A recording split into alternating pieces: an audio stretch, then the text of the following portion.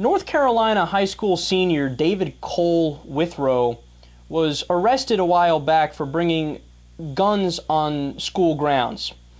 Now, uh, a lot of you will be happy to know that not all schools have completely lost their minds.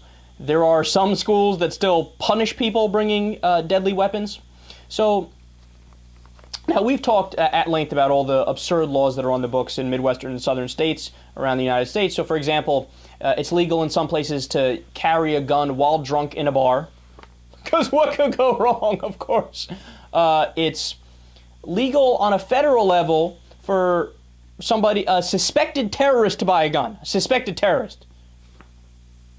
And when you look at polling, by the way, everybody's against that. Republicans, conservatives, uh, liberals, independents. But it doesn't matter because the NRA, who are funded by the gun manufacturers, they set the agenda, the political agenda. So uh, the people who should least be making gun policy, the gun manufacturers, who have their profits tied to selling more guns, they're the ones setting the agenda. There's also laws in states where you can carry in places of worship. Because what more would Jesus want? He obviously wants you to walk around with a fucking AR-15. Duh, right?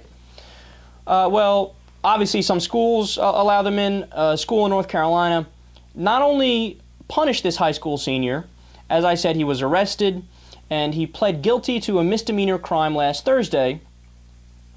And look, they went after him because naturally they wanted to set an example and disincentivize more kids who may have uh, questionable parents, maybe, who might say, Yeah, go ahead, bring a gun to school or whatever. They want to disincentivize that. They want to let them know, look, there's going to be a punishment if you do that.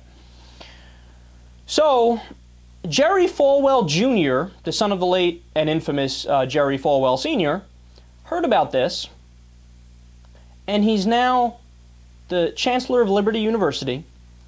So they reached out to the kid and offered him a full scholarship. All right, no, no, wait, stop, let's stop, let's stop. Okay. So the kid brings a gun to school, and uh, Liberty University goes, that's who we want here. Go get him. Go get full scholarship, full scholarship. Now, Liberty University, of course, is a sad joke because it's, I mean, there's absurd biases. I mean, they teach, you know, like biblical creationism. Um, there's nothing about that school that actually says it's a real school. It's, it's a clown ass school, but for some reason it's taken semi seriously in the world, right? Okay, but you're going to incentivize kids to now bring guns to school? You're going to offer them scholarships for bringing a gun to school. A scholarship.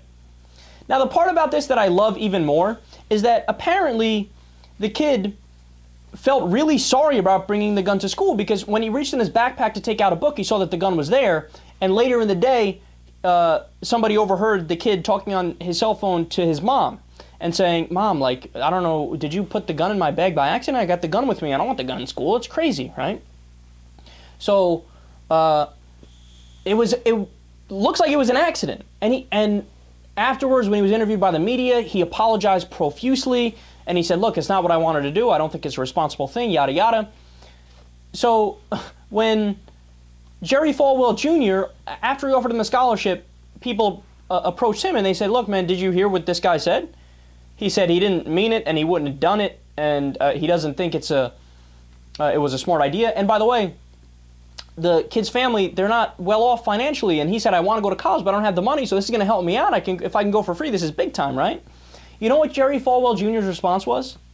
He said i you know i think that the media is making him say certain things that he didn't want to say and i'm not sure i believe that. So no matter what my uh, scholarship stands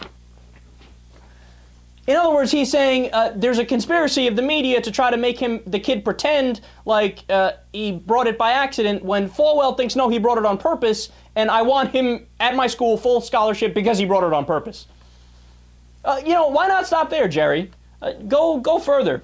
A kid who brings a grenade launcher into school not only gets a full scholarship, they get to be uh, dean of the sociology uh, department.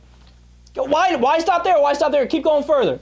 If you bring a tank, uh, if you drive a tank to school, then uh, you have not only a job after you get your full scholarship at Liberty University, but you have tenure.